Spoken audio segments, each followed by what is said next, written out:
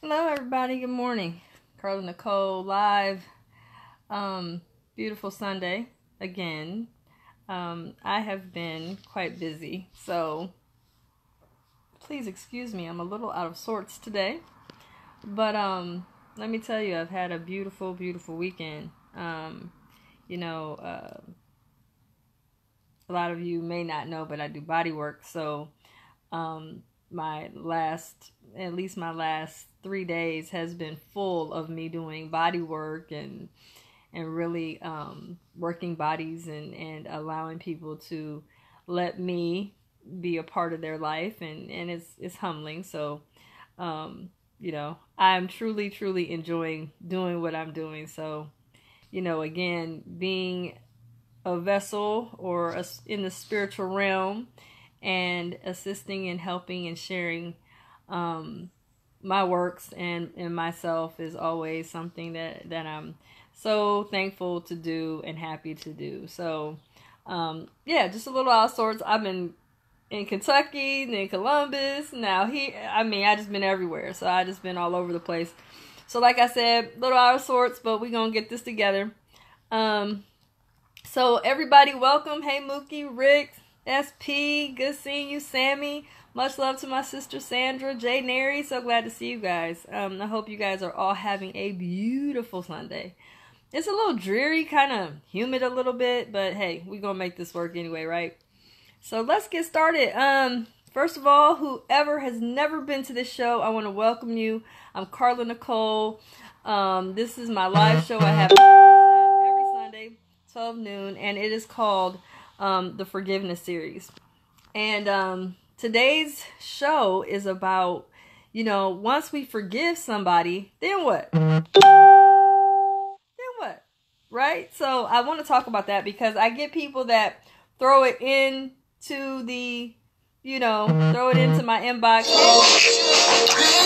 inbox like, hey, um, what's going on? Like, you know, I've forgiven somebody, but now I'm not really sure um I mean necessarily where I should go from here. So I want to talk about that. So first of all, I'm Carla Nicole. I'm a single mother of two children. I have a daughter that is 19 and a son that is 10.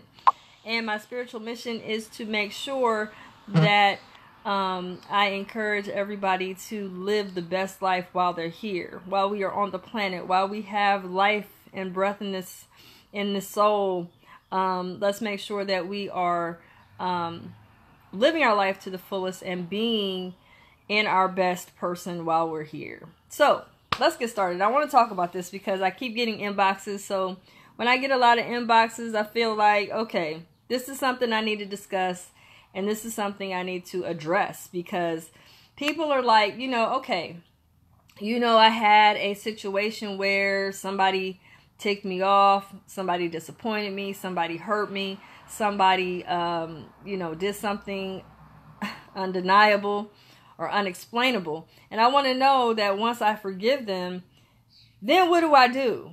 And so I want to talk about two two things that, you know, we can come across when we're dealing with forgiveness. So number 1, sometimes we can decide, and this is really a spiritual de- decision. So I believe you need to meditate and you definitely need to go into your prayer time. You know, I talk a lot about prayer and I talk a lot about how important it is to meditate and listen to what God is telling you to do. Okay? So, not just go off of your own decision because sometimes our feelings or our emotions will drive our decision as to what we should do with someone once somebody hurts us or or um, so I want you to think about this really fast. Sometimes we may have to disassociate with that person.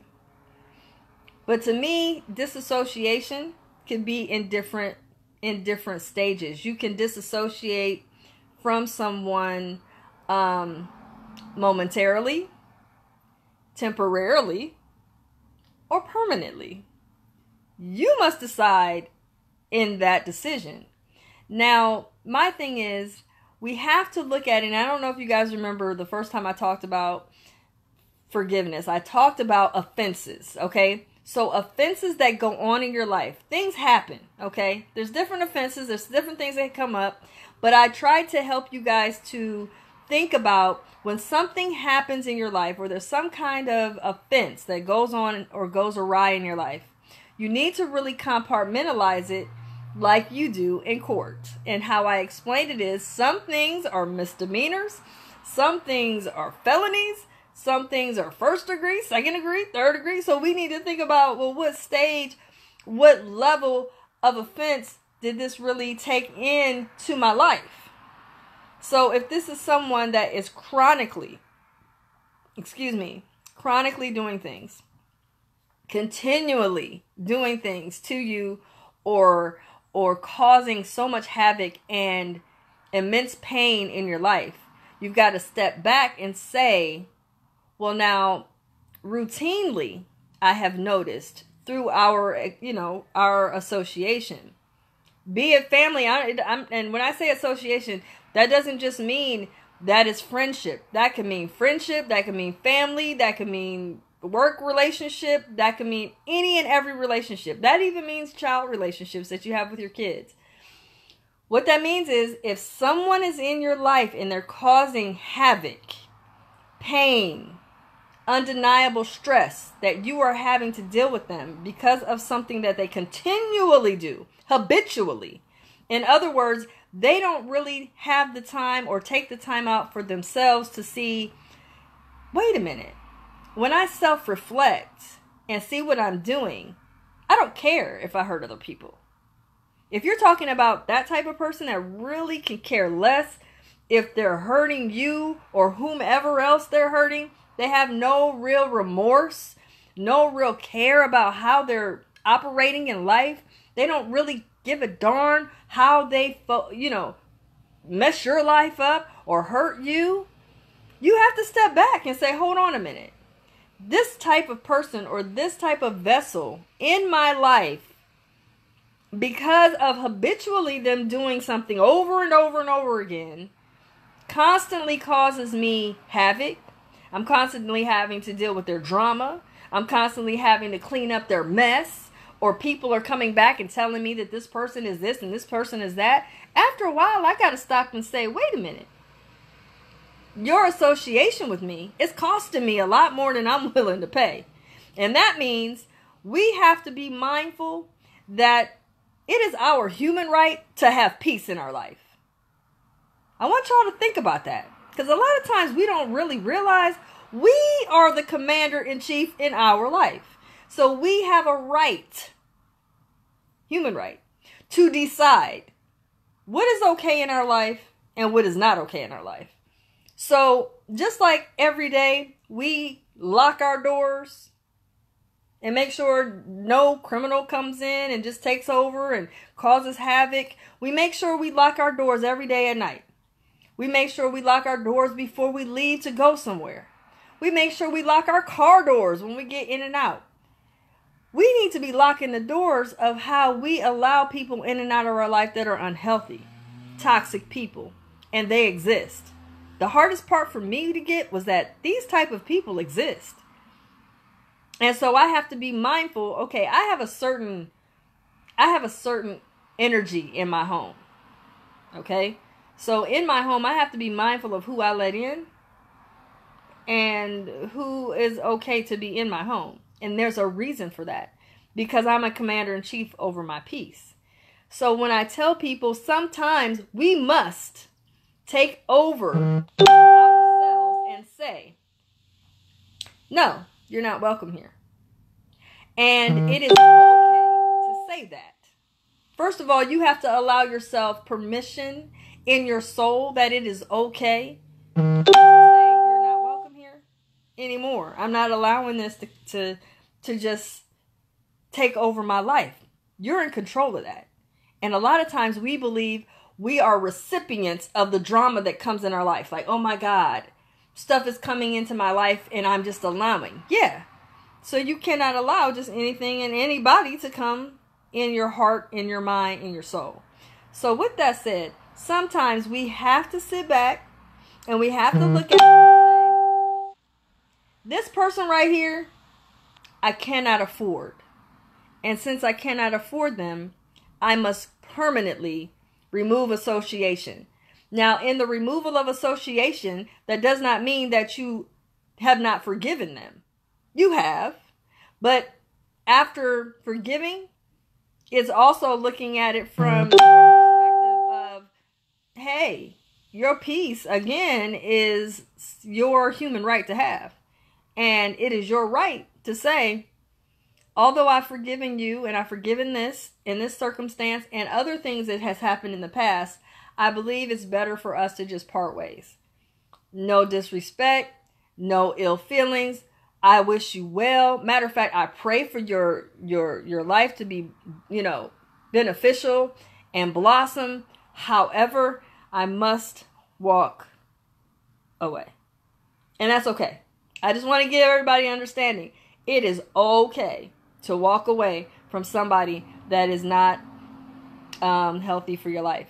And you have a right to do that. Okay?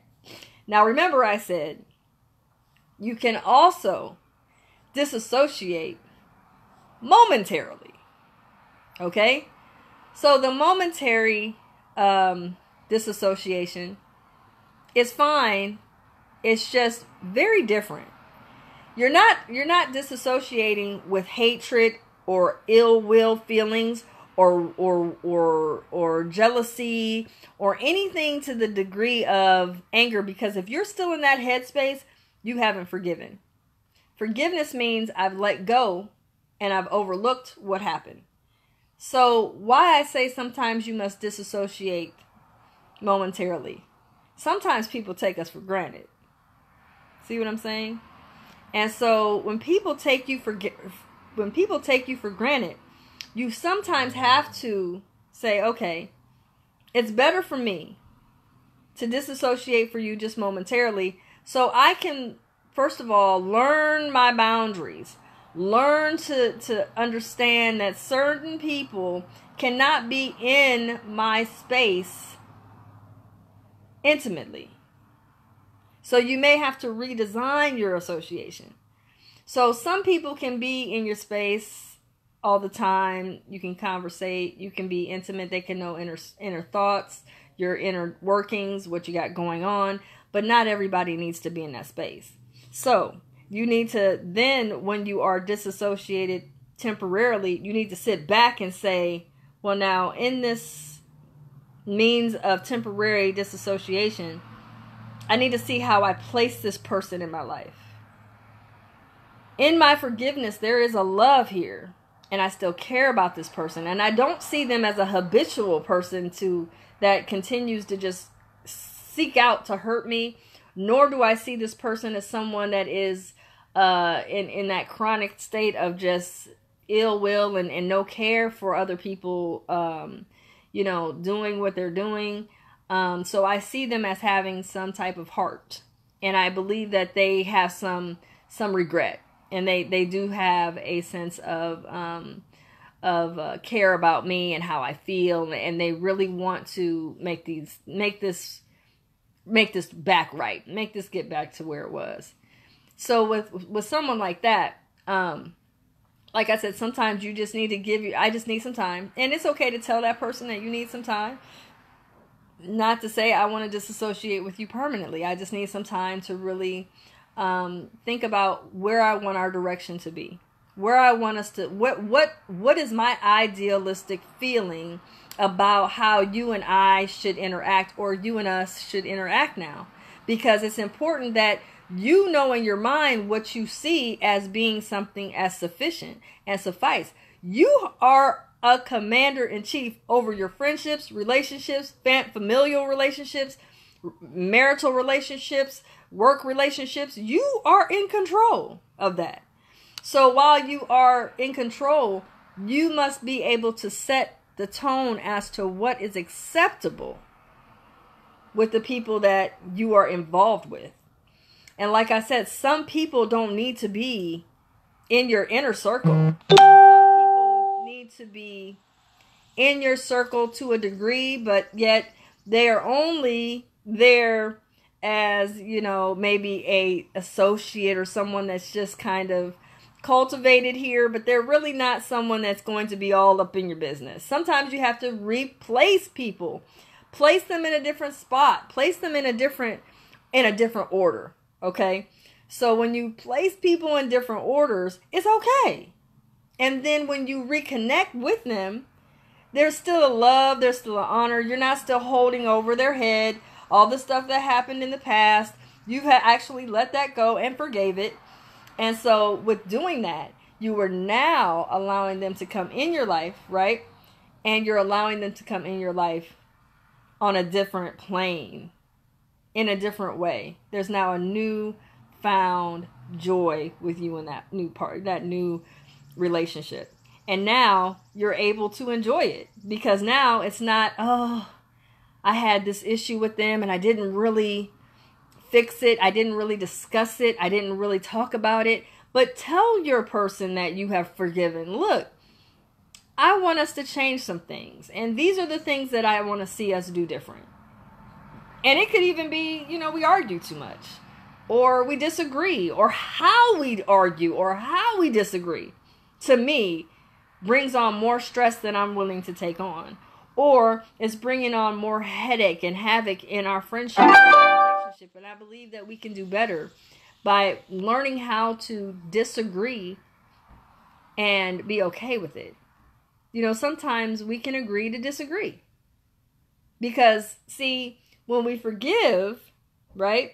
When we learn to forgive some things, and we learn to step back and say okay this was a this was something that i didn't care for but i still love this person and i still want this person in my life i just wanted to reconfigure and figure it all out in the meantime um, it changes the game. So this way it helps you to really reconfigure that relationship really helps you to sit back and say okay now that we've got that oh, got over that hump we can now redesign our relationship and you move in a better in a better way. I think a lot of times you know people believe that when i forgive somebody i'm giving them permission to to hurt me. I'm giving them permission to do um, dishonorable things to me. And that's not true. When you are forgiving someone you are saying okay i forgive what happened. So I'm not holding over your head any longer this offense that you did or that happened or whatever had chaotically went on in your life or it could be it could be you know years of just hurtful events that you are now saying I am no longer allowing those events to take over my peace in my life. That's what forgiveness is. Because when you really sit down and you say, "Hold on. I am living in the memory of the pain of what that person did to me. I'm going to say that again. I am living in the pain that that person had did to me by continually talking about it, continually thinking about it, continually gossiping about it, and then it's like, "Oh my god, oh, I'm so frustrated. You know, this person is doing this and, and he did that, or she did this and she did that, and I was so hurt. Da, da, da, and you keep bringing energy in the offense. And when you do that, it's not it's not healthy number 1 and number 2 you're not able to move on from it so that is that issue that trauma that you felt from all that that happened to you is steadily pushed on your soul and you're not able to break free from the unforgiveness. And so that's why you're finding yourself overly consumed with even bitterness, anger, hatred, jealousy of them, whatever it is, comes from the unforgiveness. So, this is why I'm telling you how you go about once you forgive, you can now see the next step of forgiveness. And in that next step, it doesn't mean that you're giving them permission. It just means that you're overlooking it. But now, in the overlooking piece, you now have a right to be a commander in chief over your peace. Okay? So I'm hoping this is helping somebody because it's very important. A lot of times we don't really think about, well, I've forgiven them. But sometimes we say we forgive and then we're like, but have we? Because we're still bringing it up. We're still talking about it. We're still thinking about it. Why is that still harboring in the mind? What happened? If if you forgave it, it should no longer be on the frontal lobe of your mind. Let it go.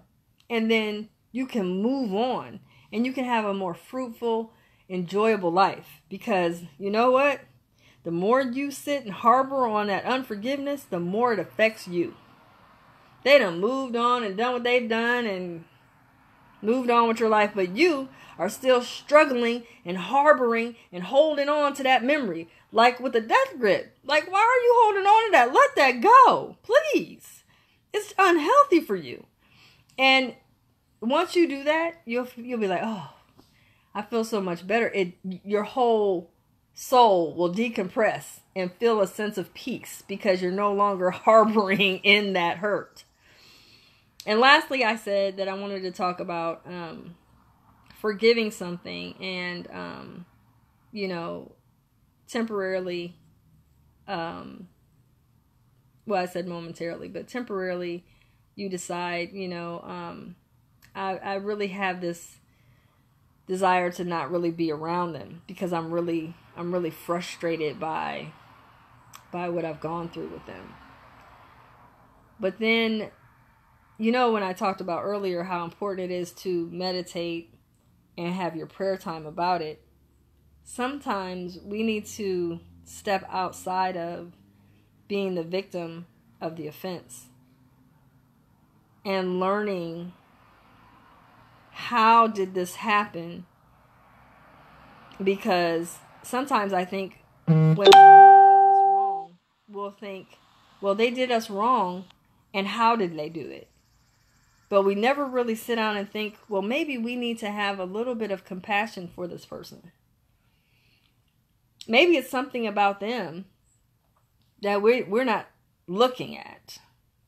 You know, because I have, you know, some family members that um are still harboring in in hurt and anger about, you know, their parent. And their parent is passed on. But they're still holding on to the fact that she had, you know, she wasn't really engaging with her kids because she had a mental condition.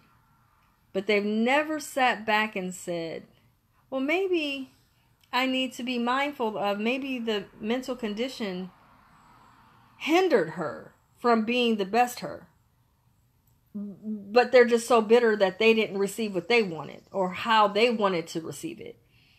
So they just harbor in on, well, you know, I don't even want to address her as my mother because I'm still so angry. It's like, you never sat down and really looked at it from her perspective, have you? A lot of times we'll look at something and be frustrated and angry and hurt and, and, and um, and feel some type of way about something without really sitting back and thinking, hold on. If I place myself in their shoes, or if I sit back and say, oh my God, this abuser to me, was that person abused? Because that person just pushed all this abuse all over me. I'm a I'm now a victim of someone abusing me sometimes we got to say, well, where did this come from? Not to justify it in any way, shape, or form, but sometimes we need to sit back and say, well, maybe this person is abusive because they were abused. Not to not to justify it, but sometimes we got to get outside of being the victim and sit back and say, well, maybe let's look at that person with some compassion. When we look at someone through compassion, we Hey, Angela.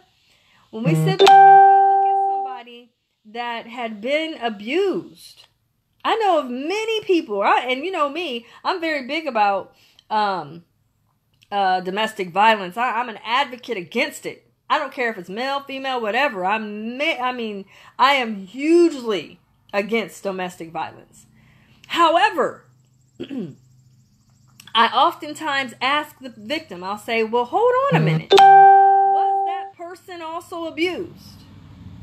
We need to look at that. They look at me kind of funny. Well, now that you mention it, yes. It was learned behavior? Yes. Okay. I'm not telling you that that's a justification because everybody that has been abused does not become an abuser. That's not what I'm saying.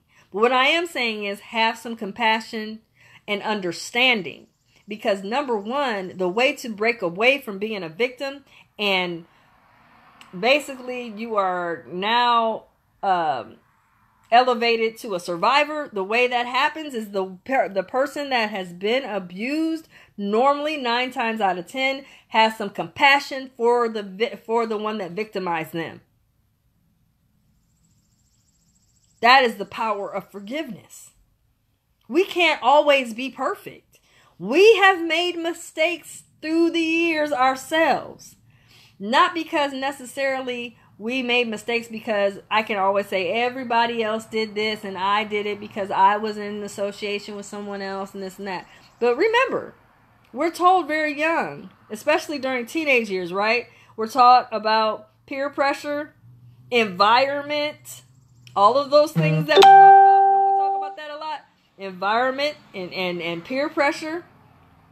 Okay, with environment and peer pressure, a lot of times we sit back and we're looking like, oh, wait a minute I can be affected by somebody else. I can make decisions because of the association I have. I can find myself oftentimes just so engulfed in something that I would probably have no engulfment or, or, any desire to be engulfed in if I didn't have association with them. So, yes, peer pressure can cause us to make poor decisions. Peer pressure can cause us to make some some uh, decisions that are not beneficial to us in our life. So we have to be mindful okay, let me have some compassion for this person that did this to us. And then let me think about something for a minute. Can we sit back and focus on how to uplift ourselves out of victim mode and, and empower ourselves into becoming a survivor. Because once you do that, even when you're, you know, and we can be a survivor of someone's harboring something at us, whether they disappointed us, hurt us, made us angry, any of those things. There still has to be a means of forgiveness. So, how do we do that? Well, they made me angry. Well, why did they make you angry? Well, because of this, this, and this. Okay. But where did they get that from? Maybe they got it from something that was unbeknownst to them. Or maybe they got it from association. We have to start having compassion for other people because we make mistakes. We're not perfect. None of us are. So we, you know, I just want people to sit back and think about how important it is. Hey, GR, I'm great, love. Thanks for asking. So it's very important that we sit back and we take, you know, honor to um, learning how to care about others. Learning how to self-reflect is very important, and self-reflection means we have to step out, step out of ourselves and look at ourselves. I do it all the time. Some people think my oh she's so analytical. Yes, I am, but I self-diagnose my mess because if I'm making a mess or I'm doing something that's not, you know, kosher, then I need to be checking myself. And I also have accountability partners. I have friends that will tell me, "Girl, you off." Mm-mm, that don't sound good. You need to change that. What you're doing there, you need to be changed on that. And I believe we all should have that. We all should have accountability partners that care about us, love us, and want to see the best for us, and will tell us, "Hey, mm-mm, you're off, my, you're off, you're off, my friend. You need to get off of that because it's important. It's very important." So I hope everybody got something from this today. Like I said, um, it, there's a power and knowing what is going on. But we have to understand that forgiveness is a beautiful thing, but it also takes practice.